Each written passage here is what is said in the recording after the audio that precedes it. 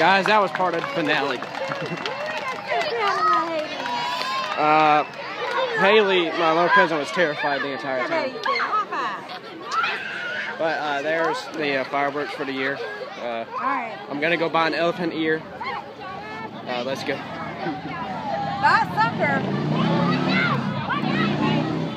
All right, guys. There's Landon. There's uh, Daddy.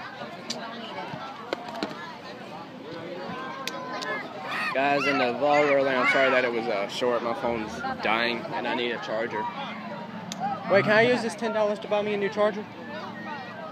Huh? Yeah, if you would do it out of elephant ear. Well, me and Michael, me and Landon can share an elephant ear. All right, guys, I'm gonna go ahead and end it. Thank you for watching. I'll see y'all in the next one.